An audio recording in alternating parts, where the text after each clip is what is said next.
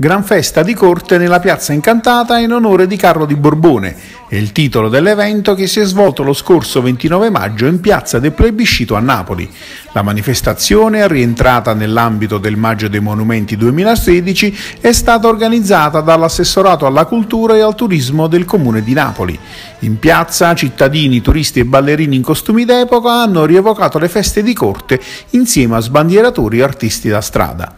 Sul palco, con la conduzione di Francesco Mastandrea e Costanza Caracciolo, alcune scuole di danza hanno realizzato le proprie coreografie in onore di Carlo III di Borbone. Gran finale con la madrina della serata Marisa Laurito, che in abiti d'epoca ha cantato alcuni brani tratti dal suo ultimo spettacolo Sud and South, un omaggio alla sua città attraverso un concerto esuberante, creativo e divertente come Napoli ed il Sud.